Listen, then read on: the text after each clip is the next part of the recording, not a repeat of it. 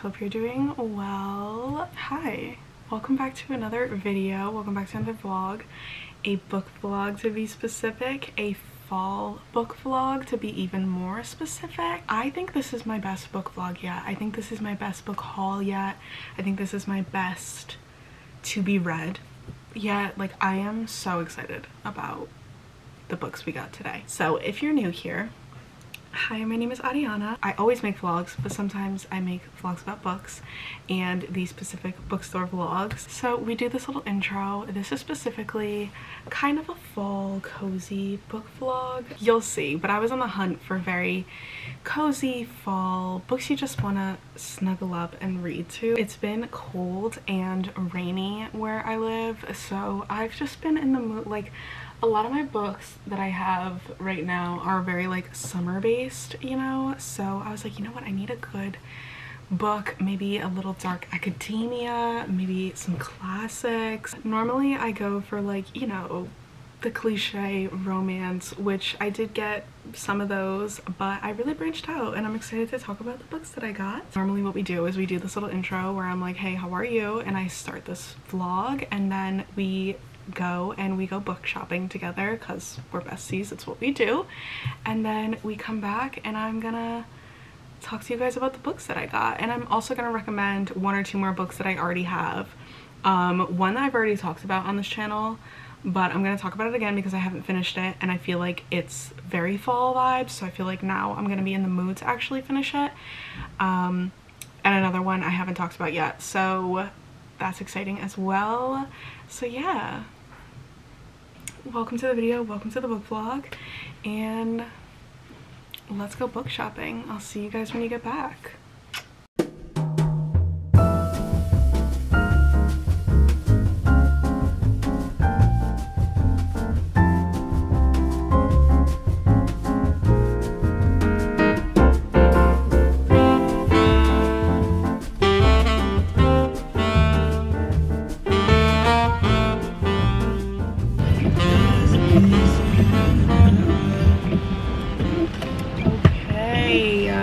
at Barnes & Noble. It's literally pouring right now, which is like perfect for the fall cozy vibes, but I don't have my rain jacket, so I'm gonna get soaked. So maybe I might wait it out a little bit. I don't know. Anyways, we're here and we're gonna do some book shopping. let's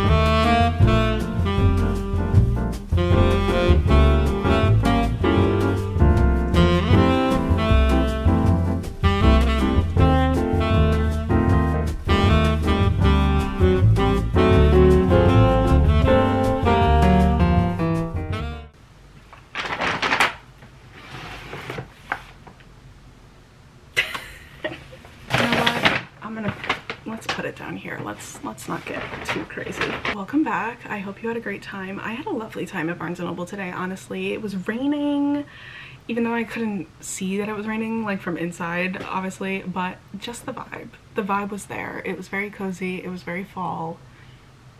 I loved it. I hope you had as good of a time as I did.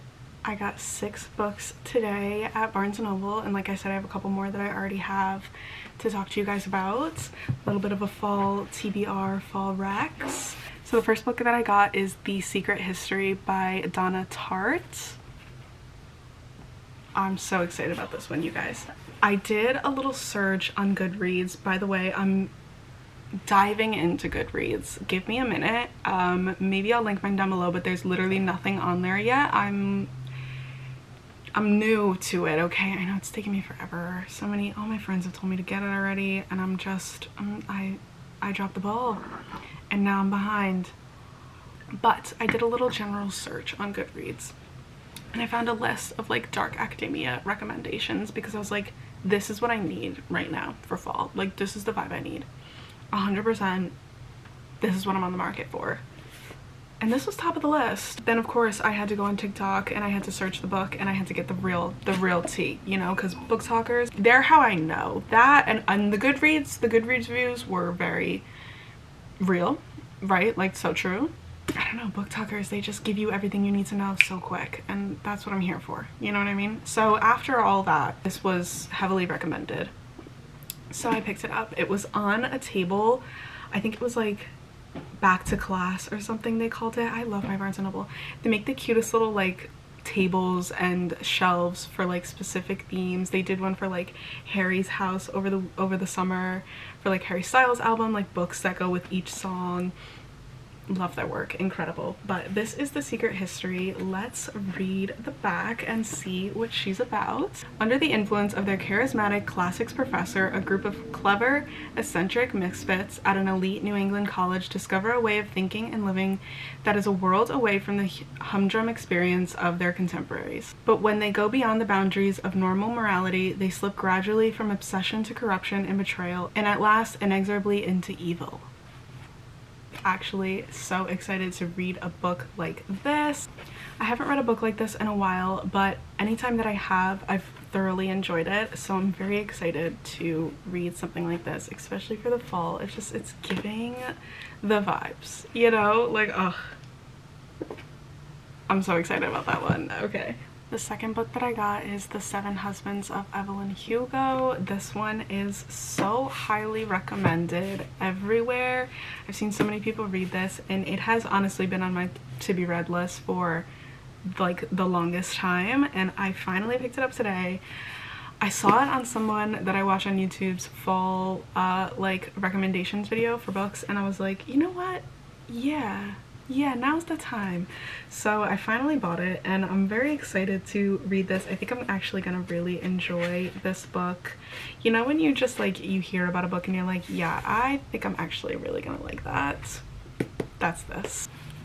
Let's read the back. Exclusive Hollywood icon Evelyn Hugo is finally ready to tell the truth about her glamorous and scandalous life. But when she chooses unknown magazine reporter Monique Grant to write her story, no one is more astounded than Monique herself. Determined to use this opportunity to jumpstart her career, Monique listens in fascination, from making her way to Los Angeles in the 1950s to leaving show business in the 80s and of course the seven husbands along the way. Girl. Evelyn unspools a tale of ruthless ambition, unexpected friendship, and great forbidden love, but as Evelyn's story nears its conclusion, it becomes clear that her life intersects with Monique's own in tragic and irreversible ways. Oh.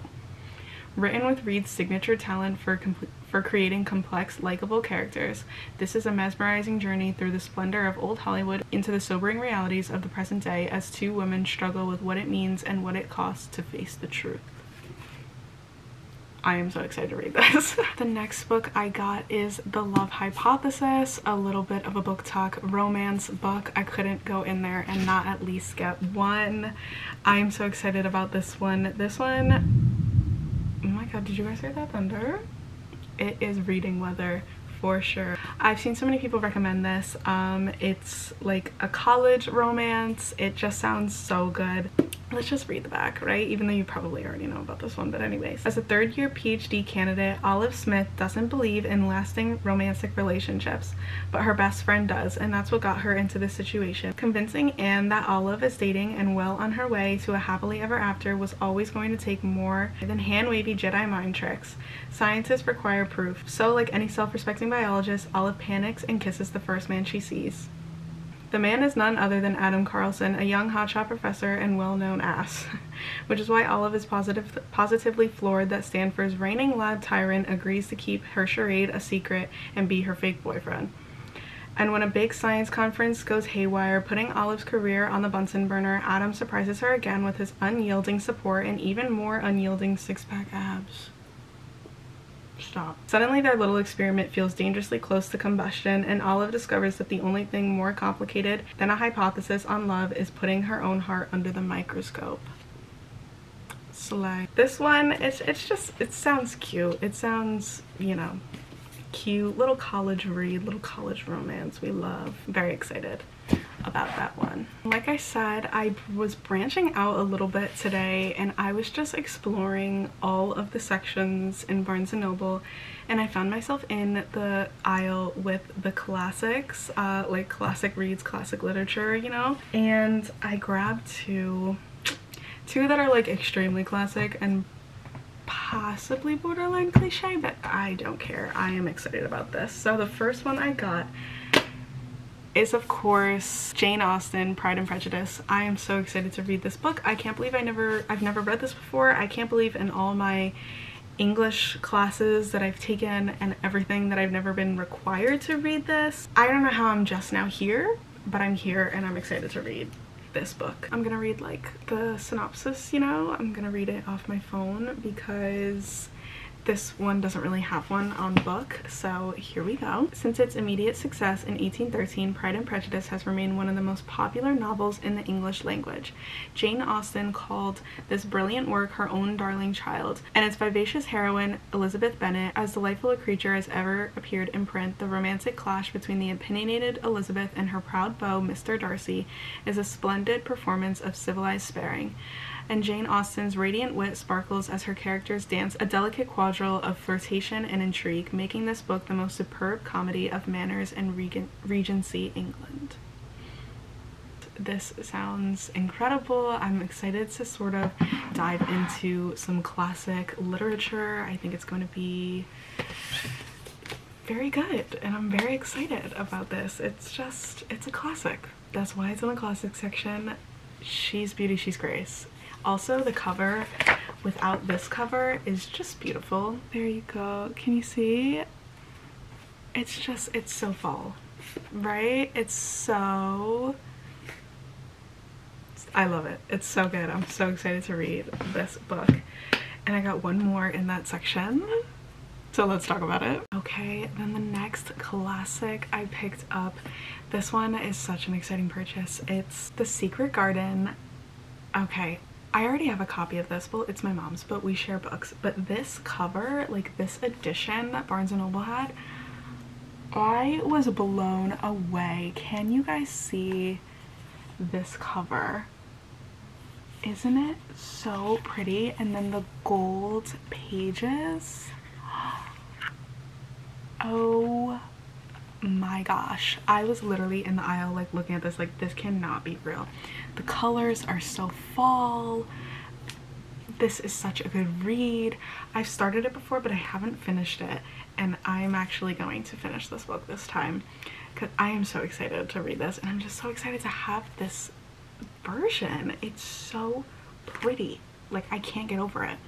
Let's read the little excerpt on the back. Orphan Mary Lennox is sent to live with her uncle at Misselthwaite Manor, a remote mansion in the Yorkshire moors. She is a lonely child and miserable until she stumbles upon the key to an overgrown secret garden that has been locked for 10 years. The discovery brings a miraculous change in Mary and leads to Misselthwaite Manor giving up its dark secret. I mean, you can't go wrong, right? Like you really, you can't go wrong. It, it, this is, it's so pretty. This might be one of the prettiest books I own. They had so many pretty covers of all the like classic books and I was I was it was so hard not to get them all honestly it really really was I was like literally me in the aisle I was just like they're so pretty. And the last book I got at Barnes & Noble is actually a poetry book. Like I said guys, I really branched out but this is a book that I literally pick up every time I go into Barnes & Noble and today I finally just said just get it. I have wanted this book since it released honestly and I can't believe I finally have it. It is Film for Her by Orion Carloto you guys orion i have followed orion literally since her like 2014 tumblr days she has been my aesthetic queen for what feels like my whole life honestly. I love her. I've always loved her poetry that she shared on like social media. I'm just so excited to dive into poetry. I haven't read poetry in like this amount since like i was in college so i'm very excited to get back into some poetry. Just gonna have this book around. It's so pretty. It's a combination of her photography and her poetry and it's just gorgeous. Like it's just, it's just so nice. I'm so excited to read this book. Let's read the little excerpt. Film for Her is a storybook of people, places, and memories captured on film through photographs, poetry, and prose. Orion Carloto invites readers to remember the forgotten and reach into the past and find comfort in the present and make sense of the intangible future. Film photography isn't just eye candy, it's timeless and romantic, the ideal complement to Carloto's writing. I, I actually, I, I'm like starstruck over this book. Like, I can't believe I have this book. I swear, guys, I literally pick it up every time I'm in Barnes & Noble and I'm like, no, I won't get it yet. I have wanted this since she released it and I finally have it and I am so excited. Like, actually, I am like over the moon. Like, I can't. Did I not say best book, best book haul yet? In my opinion, this, this is it. this is the one. the other two books that I already had that I wanted to recommend for some fall reads are the Inheritance Games and A Lady's Guide to Fortune Hunting.